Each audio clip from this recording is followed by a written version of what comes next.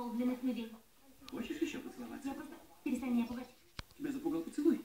Ты просто пытаешься меня соблазнить, чтобы я перехотела выходить за Эндрю, а ты бы получил корону. А может, мне нравится тебя целовать? Не подходи ко мне.